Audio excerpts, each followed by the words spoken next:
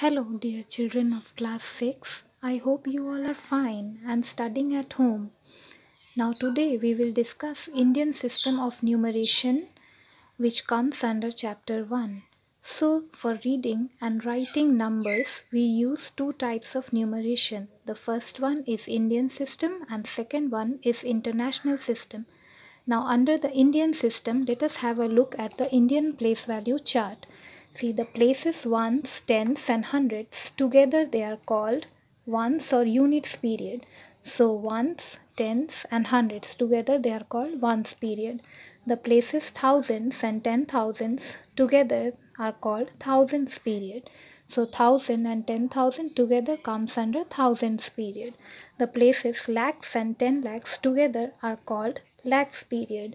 So lakhs and ten lakhs together they are lakhs period.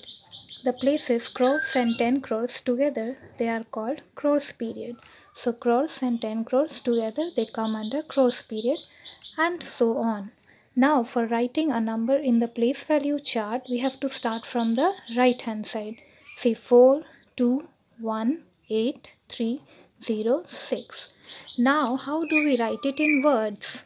See 60 comes under lakhs column. So 60 lakh 38 comes under 1000 so 38124 see here 60 lakh 38124 let us see another example. See 5 comes under crore. So 5 crore 72 lakh 90314 see here 5 crore 72 lakh 90314 let us see another example 60 lakh 7923 see 60 lakh 7923 there is one more example. See 8 comes under 10 crore 7 comes under crore.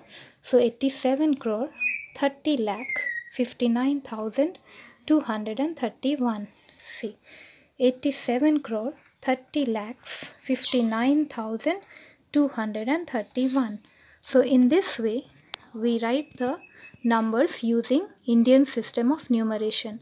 I hope you have understood this video. Thank you.